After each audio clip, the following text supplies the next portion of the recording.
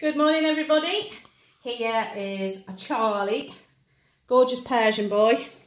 Uh, he's been groomed by us a few times now, so we're back with him today. Just on the start of the groom, we're just uh, letting him enjoy a little bit of a head groom there. Uh, so if you have a little look at him, he's very, very fluffy. He's got a couple of mats on him.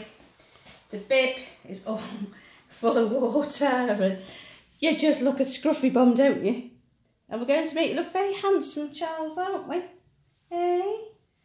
So we will come back later when we're a bit further on with the groom and show you a different boy. Won't we, Charlie? Hey? See you later. See you later.